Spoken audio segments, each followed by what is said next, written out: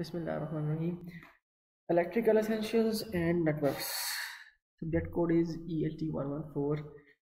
Chapter number two हम पढ़ने जा रहे हैं, जिसका नाम है डीसी फंडामेंटल्स डीसी फंडामेंटल्स मुराद डायरेक्ट करंट फंडामेंटल्स हमने दो किस्म के करंट्स पढ़े हैं एक टाइप होती है अल्टरनेटिंग करंट एक टाइप होती है डायरेक्ट करंट अल्टरनेटिंग करंट अपना डायरेक्शन अपने मैग्नीट्यूड को with respect to time change करता है, जबकि डायरेक्ट करंट अपने डायरेक्शन और मैग्नीट्यूड को with respect to time change नहीं करता। ये इन दोनों के अंदर बेसिक डिफरेंस है।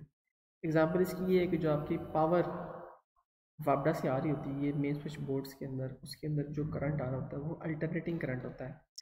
फिफ्टी हर्ट्स के ऊपर उसकी फ्रिक्वेंसी होती है और टू ट्वेंटी वोल्ट्स या टू थर्टी वोल्ट्स उसकी वोल्टेज होती है।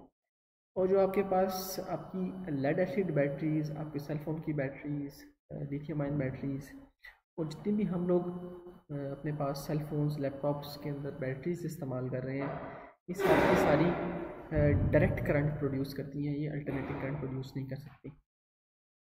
डायरेक्ट करंट और अल्टरनेटिव करंट के अंदर एक चीज़ याद रखने की ये है कि डायरेक्ट करंट हमेशा स्टोर किया जाता है, जबकि अल्टरनेटिव करंट स्टोर नहीं किया जाता।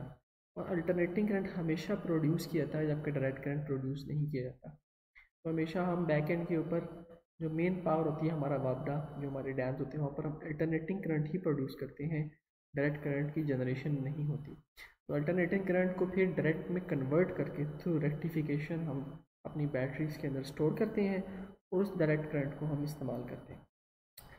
चैप्टर का आगाज़ करते हैं, Ohm's law is the first topic of the DC fundamentals Ohm's law को समझना ज़रूरी है लास्ट लेक्चर के अंदर भी मैंने आपको थोड़ा सा इसके बारे में ब्रीफ किया था। ओहम्स लॉ कहता है कि electric current is directly proportional to the voltage and inversely proportional to the resistance दो मेन बातें करता है।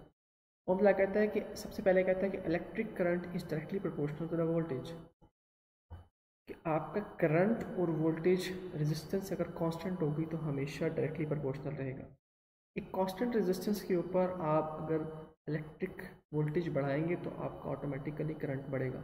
इलेक्ट्रिक वोल्टेज कम करेंगे तो आपका ऑटोमेटिक करंट कम होगा। ये दोनों डायरेक्टली प्रोपोर्शनल होंगे if the resistance is constant और दूसरी बात ये कहता है ओम्स कि electric current is inversely proportional to the resistance अगर आपका करंट इफ़ आपका वोल्टेज कांस्टेंट है और आप करंट इंक्रीज रेजिस्टेंस इंक्रीज करते हैं तो आपका करंट ऑटोमेटिकली डिक्रीज होगा। और अगर आप रेजिस्टेंस डिक्रीज करते हैं तो करंट इंक्रीज होगा। ये दोनों आपस में इन्वर्सली प्रोपोर्शनल है। तो ओम्स लॉ दो बातें बता रहे हैं। क्या?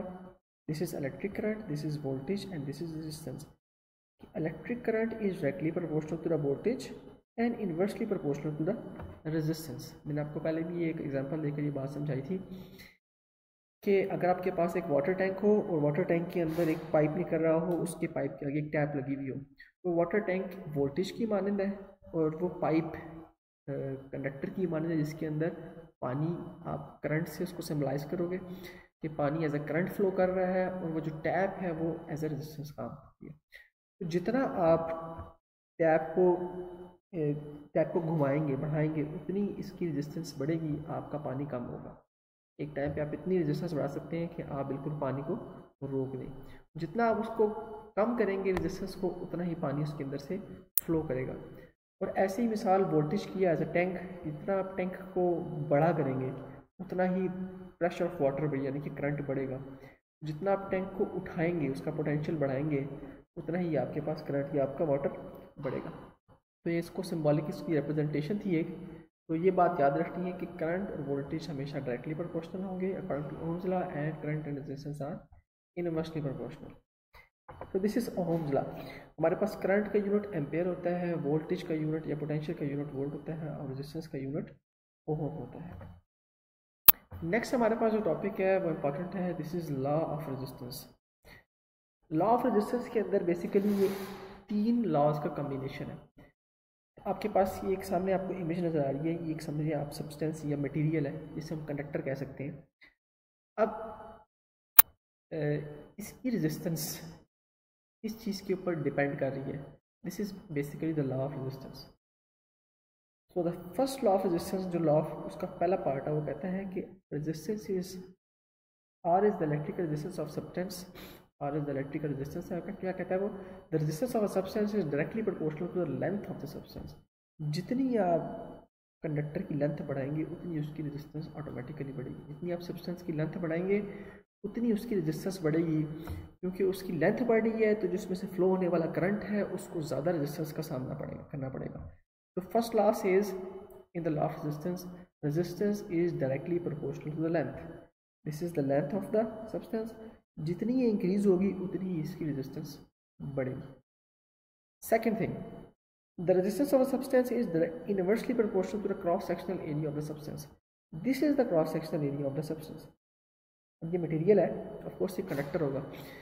हर कंडक्टर की अपनी रेजिस्टेंस होती है। तो इसकी जो, इस कंडक्टर की जो रेजिस्टेंस है, वो inversely proportional to cross sectional area है। जितना एरिया आपके पास बड़ा होगा, उतनी ही रेजिस्टेंस कम होगी। इसकी मिसाल आप एक वाटर पाइप से ले सकते हैं कि अगर आप वाटर पाइप की वाटर पाइप को तंग कर देंगे, आप लो डायमीटर का वाटर पाइप लेंगे तो उसमें से पानी को फ्लो होने में ज़्यादा मुश्किल होगी। एज़ कंपेयर टू अगर आप बड़ा पाइप ले लेंगे, जिसका क्रॉस सेक्शनल एरिया ज़्यादा होगा, उसमें से पानी ईजीली फ्लो करेगा। जितना आपके पास क्रॉस सेक्शन एरिया बड़ा होगा, उतनी ही उसकी रेजिस्टेंस कम होगी। और जितना क्रॉस सेक्शन एरिया कम होगा, उतनी इसकी रेजिस्टेंस ज़्यादा होगी। Where is the cross section area of the substance so दूसरी बात हमें क्या पता चली कि R is inversely proportional to the cross section area दो बातें हमने यहाँ पर पढ़ी। एक, resistance is directly proportional to the length of the material and resistance is inversely proportional to the area of the material जितना ये एरिया बड़ा होगा, उतनी रेजिस्टेंस कम होगी। जितनी ये लेंथ ज़्यादा होगी, उतनी ही रेजिस्टेंस ज़्यादा होगी। आगे चलते हैं। तीसरी बात यह है अगर हम लोग दोनों पिछले लॉस को कंबाइन करें, क्या बनता है हमारे पास? R is equal to L over A अगर हम दोनों को कंबाइन करें तो R is directly proportional to the L over A अब इस प्रोपोर्शनैलिटी को अगर हम इक्वालिटी के अंदर कन्वर्ट करना चाहें तो हमें कोई ना कोई कांस्टेंट रिक्वायर्ड होगा। तो हमने कहा जी this is the constant this ई इसको हम रोहो कहते हैं। This is the constant R is equal to rho L over A this is the law of resistance this is the actual formula of the law of resistance अच्छा अब ये rho क्या है? वे rho is the proportionality constant known as resistivity और specific resistance of the material of the conductor और a substance ये rho resistivity या specific resistance कहलाती है उस मटेरियल का। अब ये स्पेसिफिक रेजिस्टेंस होती क्या है? रेजिस्टेंस और स्पेसिफिक रेजिस्टेंस के अंदर क्या फ़र्क है? Resistance is the resistance of the overall material but resistivity is resistivity is the resistance of a unit unit length having unit cross sectional area of a material this is called resistivity but a इसको आप ऐसे कह सकते हैं one metre cube resistance of a one metre cube of a material is called resistivity but resistance of resistance of the whole material is called the resistance of the substance but if you take the one cube one meter cube of a material, it is called resistivity. तो क्या आपने इन दोनों के अंदर difference रखना है कि resistance is the resistance of the overall material but resistivity is the resistance of the specific unit length और cross sectional area of a material इन दोनों में फ़र्क है। अच्छा अगर आप किसी एलिमेंट की रेजिस्टिविटी ज़्यादा होगी तो ऑफकोर्स उसकी ओवरऑल रेजिस्टेंस भी ज़्यादा होगी। अगर उसके वन मीटर क्यूब की रेजिस्टेंस ज़्यादा है तो उसकी एक मीटर पूरे लेंथ की जो है ना अगर दस मीटर का वो मटेरियल है तो ऑफकोर्स दस मीटर की भी रेजिस्टेंस ज़्यादा ही होगी। तो जितनी रेजिस्टिविटी ज़्यादा होगी, उसकी उतनी ही रेजिस्टेंस भी ज़्यादा होगी। तो ये दोनों डायरेक्टली प्रोपोर्शनल है। If the resistivity of the material is high the resistance offered by the substance made by this material is high and vice versa. अगर resistivity कम होगी तो resistance ओवरऑल भी कम होगी। अगर रेजिस्टिविटी हाई होगी तो ओवरऑल भी रेजिस्टेंस हाई होगी। So R is directly proportional to the P which means the resistance is directly proportional to resistivity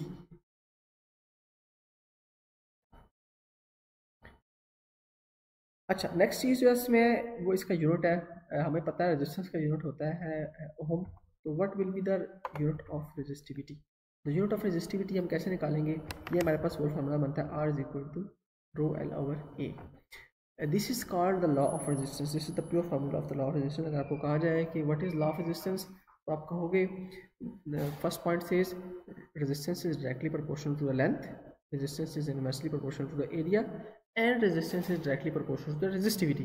This is called the law of resistance. ये तीन main points हैं, और उसके बाद इसका फार्मूला अच्छा अगर आप ए को उठाकर इधर ले आए आर की तरफ़ तो A R is equal to rho L आप रो को इस तरफ़ ले आए, और एल को एल इधर मल्टीप्लाई हो जाएगा तो जाकर डिवाइड हो जाएगा ए आर ओवर एल ये हम यूनिट निकालने के लिए कह रहे हैं कि रेजिस्टिविटी का यूनिट क्या होगा?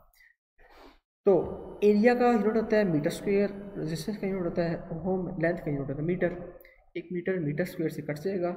तो resistivity is metre ohm it means metre ohm ये बता रहा है हमें कि this is the specific length of और specific area of a material ठीक है? तो आप कह सकते हैं इस रजिस्टिविटी को, इस यूनिट को देखते हुए कि resistance of a metre cube या resistance of a metre length of a material is called is specific resistance और रेजिस्टिविटी ठीक है?